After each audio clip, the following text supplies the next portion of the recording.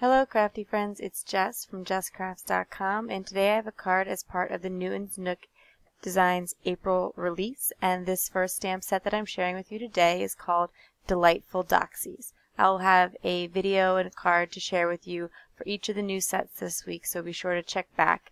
And each of the sets will be um, given away as part of the new release blog hop and so I will leave you a link to my blog where you can join up on the blog hop and leave a comment on all the designers' blogs for a chance to win the new sets. So this first set was inspired by the Christmas or holiday themed Doxy set that was so popular among Newton's Nook fans, and so now we have a general Doxy set. And on today's card, I'm actually going to end up using three of the four different Doxy images, and all of the Doxies have um, some ties around them so that uh, strings tied around them so that you can incorporate the kites or balloons into them. And then there's a little doxie who's sitting who could also be made to be holding those in his mouth. I'm going to be doing some watercoloring with the doxie images and so I have a piece of 140 pound Canson watercolor paper that I've cut with the Lawn Fawn stitched rectangle die and I'm going to be stamping out a scene from the doxies and I will be stamping it in VersaFine ink and then clear embossing it. This will give me a really crisp black impression that's slightly raised and is perfect for watercoloring. You could skip the clear embossing, but I just wanted to give it a little bit more definition, and so I went with the embossing. VersaFine ink, though, is waterproof, so as long as it's dry, you can do all the same techniques that I'm doing today. I wanted to originally just stamp one doxy, but then when I set it out, I just felt like the sky was, or the, you know, the area of the card was not full enough. It does eventually turn into a sky. And I was thinking of having the balloons instead of the kites in this instance because I wanted to use that you lift me up sentiment. There's a lot of great sentiments from the set and they have some um, puns incorporated into there. And I thought that it would make a little bit more sense for the balloons to be lifting the doxies into the air than the kites in particular, so I went with the balloons in this instance. I think the balloons would look excellent on a birthday card too, of course, but mine's just a little bit more general, a nice encouragement card to send to a friend. So I started by stamping out the two doxies, and then I wanted to make sure that the balloons would fit before I filled in with any more. I knew that I would have it such that there would be an ombre effect eventually and that these doxies were going to be in a sky. As I go, I heat up the embossing powder and emboss the different images. So um, I put the embossing powder over the dogs and the balloons and then heat set it. Then I'm going to keep moving on. And so that way everything is set and I'm not accidentally brushing powder off or something in that instance. This last doxy winds up being stamped partly off the paper in order to make it fit, but I just thought that having three of them instead of two was made a little bit more sense. You might want to be careful as the um, VersaFine ink is a very sticky ink, and so if it's on your mat, it will stay wet for a long time and can spread throughout the card. So having a wet towel on hand or even a dry towel on hand just to wipe that away is super helpful. As I continue with this embossing, I use my powder bag or powder tool more than once because um, I continue to manipulate it and get, you know, uh, I could possibly get uh, static on the base, and so I just want to make sure that um, the embossing powder works perfect each time. I'm going to be doing some masking on the card because I want to create a watercolor background and then have all of the um, doxies and balloons on top. And it would have been a lot to either fussy cut out all these images or mask off all these images in a traditional paper masking sense. So I'm taking this fine line fluid masking that I picked up at Butterfly Reflections Ink. It's a masking fluid pen, and I'll be sure to leave a link to this as well. And basically, you just cover everything you want masked in the liquid, and then you let it dry, and you can peel it up later. This is my first time using this, and um, some tips and suggestions would be it does come out a little bit faster than you might expect, so you definitely have to kind of get used to the flow so that you're not putting out more than you want. You do want to make sure you have a nice even coverage over everything, and it does have kind of a strong smell, so it would be a great idea to have your area ventilated. Once I've covered all the image, which is quite time consuming, but in the end I think that it's worth it because it really gives a unique effect. I set it aside for like about half an hour to dry because I have some really large areas masked and I wanted to make sure this technique would work because of all the time I'd already invested in the card. And then I'm ready to do my watercoloring. And I have my Koi watercolor sketch box set here. And I'm going to be using the two different blues to do a little bit of a fade or an ombre effect with some darker blue at the top and fading out to a lighter blue just to kind of uh, add to that idea of things feeling like they're floating. So I sprayed my paper to make sure that the water would be pretty free flowing and create a nice watercolor effect. And then I just started layering color on. What I'm going to do is keep everything pretty wet so I get that very, you know, artsy watercolor effect, but I'm also going to layer the color.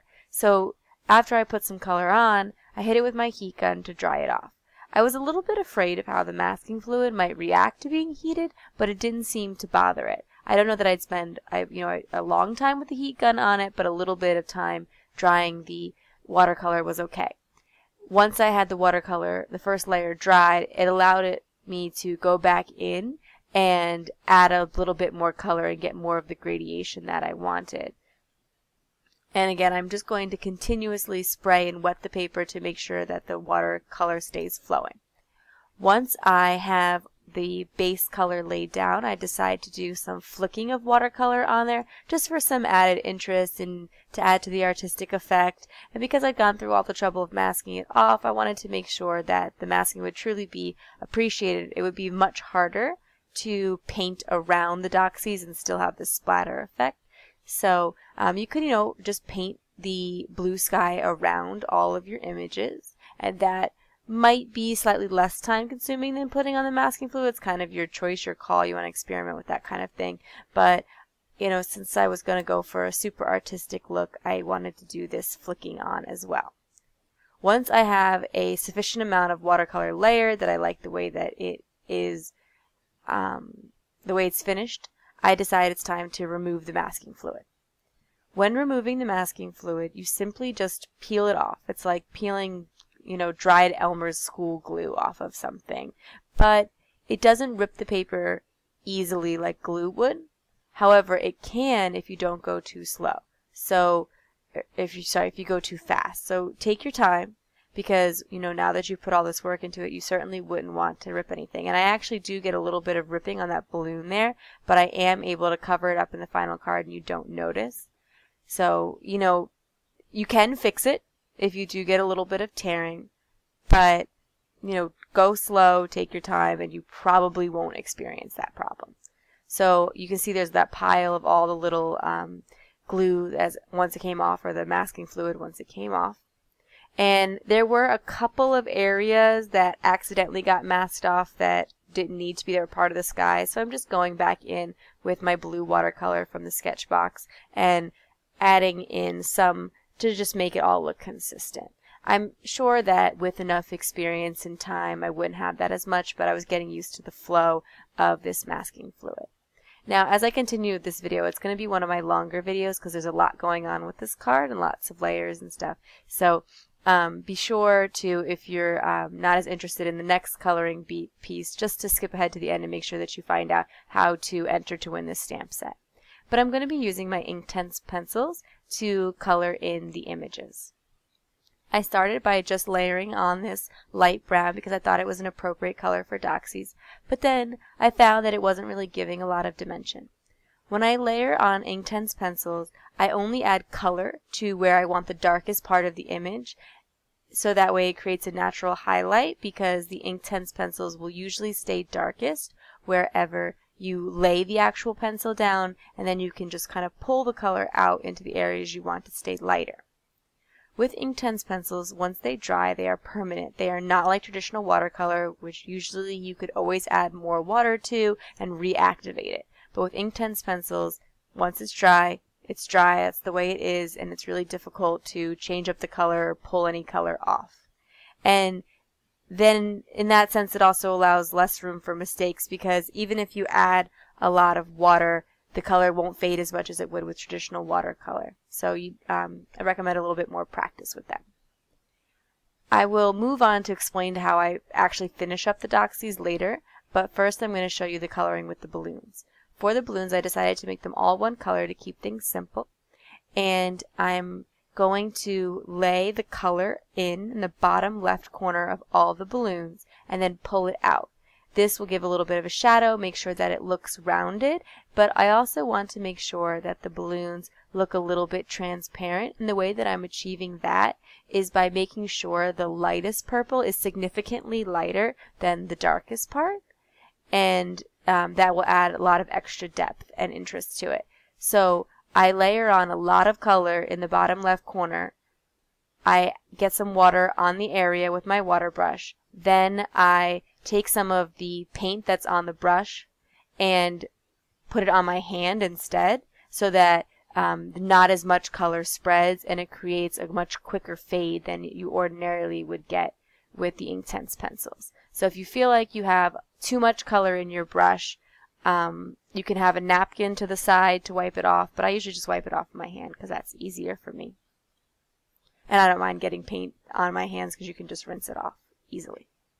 As I continue with the Doxies, I found that by adding the slightly darker brown color in, I was able to get some more interesting shadows. And so when I painted the next two dogs, I added both browns at one time. I find that it's a little bit easier to get blending with Inktense pencils if you add both colors when you're in the pencil stage as opposed to trying to add colors once you've added water.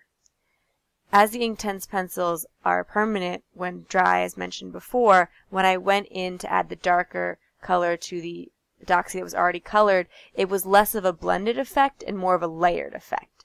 And so you know, get better results if you do it during the pencil stage when they will blend as opposed to sitting on top of each other and then, you know, just getting a slightly different effect. So as you know, as you experience, uh, experiment with your Inktense pencils, you'll kind of figure out what works best for you, but that's just my general tip.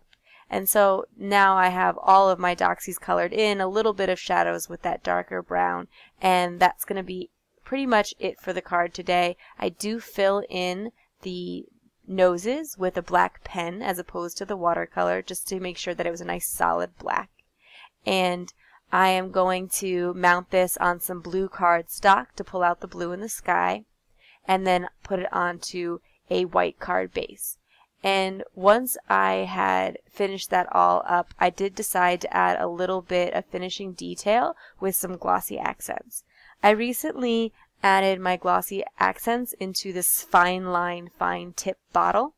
And I find that it just gives me a little bit better control with the glossy accents, although you do have to squeeze it a little bit harder than you would your traditional glossy accents bottle. So if you have something like if you have arthritis or something like that, you might find it a little bit more difficult. But um, I like the control that it gives me over the glossy accents. And so I'm just going to add that to the hearts on the balloon. I thought about coloring the entire balloon, but then I thought that that would take away too much from the doxies, and so I just add that little bit there. That's it for my card today. If you like this video, please give it a thumbs up. If you're interested in more crafty videos, you can subscribe to my channel. I'm going to leave you links to the products in the video description below, as well as to my blog where you can join in on the Newton's Nook Design blog hop, and you can hop along for a chance to win this new set. Thanks for watching. Bye.